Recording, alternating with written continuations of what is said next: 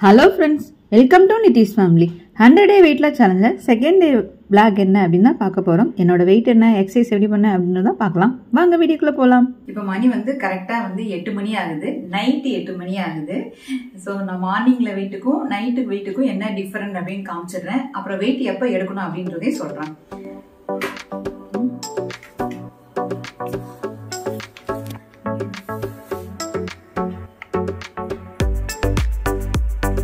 அறுபத்தி மூணு கிலோவும் அறுநூறு கிராமும் காமிக்குது.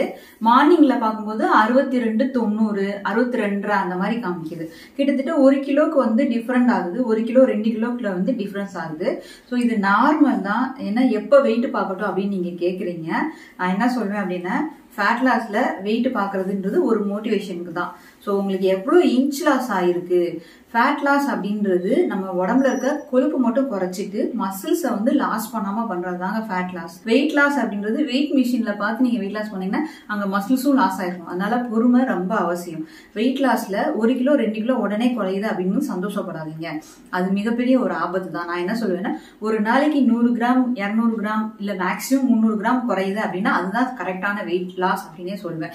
ஓவர் ஒபிசிட்டி இருக்கவங்களுக்கு வேணா ஒரு அரை கிலோ ஒரு கிலோ அந்த மாதிரி குறையிறது அது வந்து நார்மல் தான். ஸோ நம்மள மாதிரி கடைசி ஒரு பத்து கிலோ குறைக்கிறவங்களுக்கு ஃபேட் லாஸ் அப்படின்றது ரொம்ப முக்கியம். பத்து கிலோ வெயிட் லாஸ் பண்ணுறது அவ்வளோ ஒரு சேஞ்ச் உங்கள் பாடியில் தெரியும். ஸோ மார்னிங்கில் எம்டி ஸ்டமக்கில் வெயிட் எடுத்துக்கோங்க.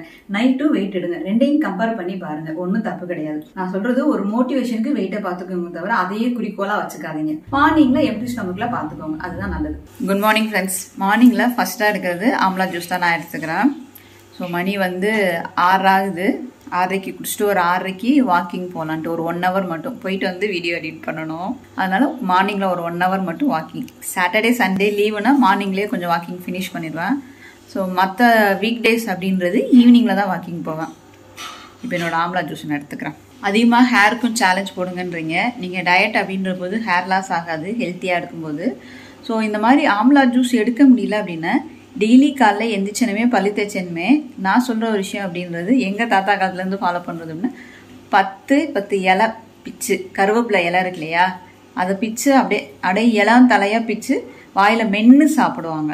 அது செஞ்சு பாருங்களேன் வெள்ளை முடி இருக்கிறவங்க வெள்ளை முடி வராமல் தடுக்கலாம். பட் வந்த முடியை ஸ்டாப் பண்ணுமா அப்படின்றது எனக்கு தெரியலை. இனிமேல் வளராமல் தடுத்துக்கலாம். ட்ரை பண்ணி பாருங்களேன். ஒரு நாள் ரெண்டு நாள் பண்ணாதீங்க. உங்கள் லைஃப் லாங் அச்சீவ்மெண்ட்டாக வச்சுக்கோங்க.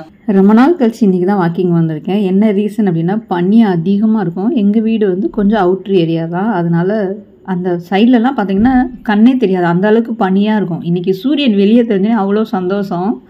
வெளியே வாக்கிங் வருவேன் ரொம்ப பனியாக இருக்கும். பயந்துட்டு திரும்பி வீட்டுக்கு போயிடுவாள் ஸோ இன்றைக்கி தான் வந்து நான் கம்ப்ளீட்டாக ஒன் ஹவர் வாக்கிங் நல்லா பிரிஸ்காக நடந்திருக்கேன். மார்னிங் டிஃபன் எடுக்கிற டைம் மணி எட்டரை ஆகுது இன்றைக்கி நான் பழம் தான் எடுத்துக்கிறேன். ஸோ கொய்யாப்பழம் சிகப்பு கொய்யா ஆப்பிள் அன்னாச்சி பழம் தண்ணி பழம். தண்ணி பழம் வாங்கியிருந்தோம். இது வந்து முளைக்கட்டின பச்சை பயிர் வந்து ஐம்பது கிராமும். வேர்க்கல்ல வந்து ஒரு பத்து கிராம் இருக்க அளவுக்கு எடுத்திருக்கேன். எங்கள் வீட்டில் எல்லாத்துக்குமே பழங்கள் தான். ஸோ அவங்களாம் ஏற்கனவே முளைக்கட்டின பயிர் சாப்பிட்டுட்டாங்க. ஸோ மார்னிங் டிஃபனாக எடுக்கிறது நான் இதுதான்.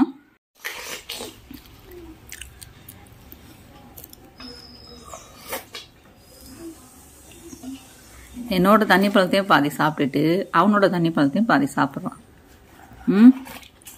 சொல்றா எனக்கு கலோரி டிஃபீசியஸ் ஆயிரும் இல்லையா? இங்கே திரும்பி சொல்ல பதில் சொல்லு. கலோரி ம். எங்கள் வீட்டில் எல்லாருமே டயட்டு ஸோ அதனால் காலையில் எல்லாத்துக்குமே ஃப்ரூட்ஸ் ஒன்லி தான். ஓகேவா ஏன் நித்திஷ் ஓகே சொல்கிறேன் அப்படின்னா மத்தியானம் ஃபிஷ் அதனால ஓகே சொல்கிறேன் அப்படி தானே ம்? ஃப்ரைடு ஃபிஷ்ல ம் ஃப்ரைடு ஃபிஷ்ஷா டவா ஃபிஷ் தோசை செட்டில் வச்சு பூசி. அப்படிதானே? ம்.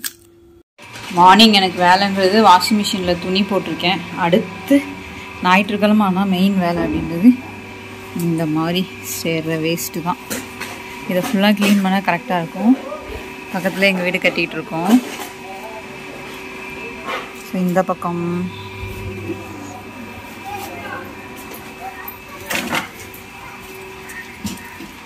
சுற்றி வெளியே இப்படி மரம் வச்சுருந்ததுனால ஃபுல்லாக சேர்ந்துடும் வாரம் வாரம் இது வாரத்தில் ஒரு நாள் தான் நான் க்ளீன் பண்ணுவேன். டெய்லி சில சமயம் டெய்லி க்ளீன் பண்ணுவேன். சில சமயம் டயம் இல்லை அப்படின்னா வாரத்தில் ஒரு நாள் அப்படியே க்ளீன் பண்ணுறது தான் மத்தியானம் சாப்பாடு எடுக்கிற டைம் மணி வந்து ஒன்னே கால் ஆகுது.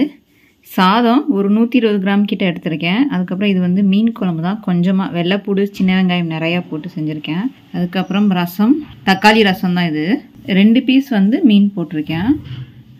மீன் வந்து வஞ்சர மீன் தான் எடுத்திருக்கோம். நான் சின்ன பீஸாக ரெண்டு பீஸ் எடுத்திருக்கேன். ஸோ மதியானம் சாப்பாடாக எடுக்கிறது நான் வந்து இதாக எடுக்கிறேன். எங்கள் வீட்டில் எல்லாத்துக்குமே இதுதான். மதியானம் சாப்பாடு சாப்பிட்டுட்டு ஒரு ஒரு மணி நேரம் கழிச்சு நான் வெந்நி தண்ணி தான் குடிச்சிட்ருக்கேன் இது துவைச்ச துணி துணி மடிக்கணும். ஸோ தண்ணி குடிச்சிக்கிட்டு அடுத்து துணி மடிக்கிறது தான் வேலை. தண்ணி வந்து நல்லா சூடாக இருக்கும். அதனால் மடக்கு மடக்குலாம் குடிக்க முடியாது. காஃபி டீ குடிச்ச மாதிரி தான் குடிப்பேன் நான் வந்து. ஒரு அஞ்சு டு பத்து நிமிஷம் ஆயிரும் தண்ணி குடிக்கிறதுக்கு. சாப்பாடு சாப்பிட்டு ஒரு நாற்பத்தஞ்சு நிமிஷம் கழித்து நல்லா சூடாக தண்ணி குடிங்க. நம்ம சாப்பிட்ற சாப்பாடு சீக்கிரமாக செரிமானம் பண்ணுறதுக்கு ரொம்ப ஹெல்ப்ஃபுல்லாக இருக்கும். இந்த சுடுதண்ணி. ட்ரை பண்ணி பாருங்கள்